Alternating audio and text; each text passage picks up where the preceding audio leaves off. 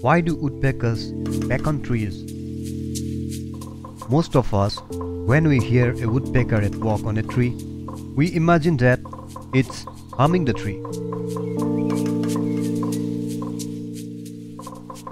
But the fact is quite opposite.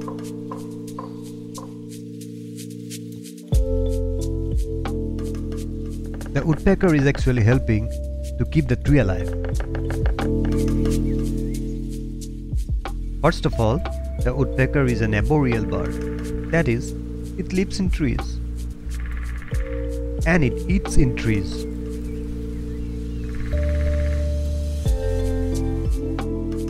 Hidden down deep in the crevices of the bark of trees are many grubs and insects.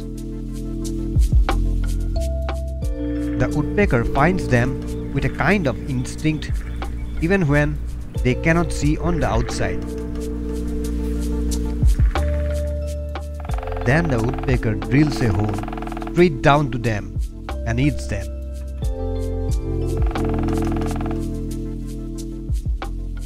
Quite often, these insects and grubs are the kind that are harmful to the trees. How can the woodpecker reach down into the wood? For one thing, the woodpecker's beak is sharp and strong and has a chisel-shaped point. Then, the woodpecker has also an amazing tongue. In some species, it is twice as long as the head itself.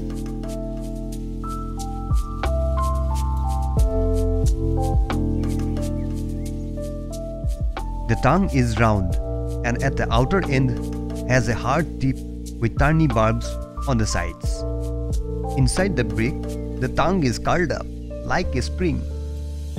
When the woodpecker goes after the insects in the trees, it is able to thrust the tongue quite some distance from the beak and go far down in the crevices of the bark.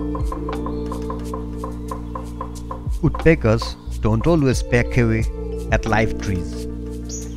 They use their chisel-like beak also for cutting holes in decayed wood. This is to make a place for their nests. They like trees which are hollow part of the way up. Sometimes woodpeckers make two openings, like a front and a back door. This enables them to get away if an unwelcome visitor shows up.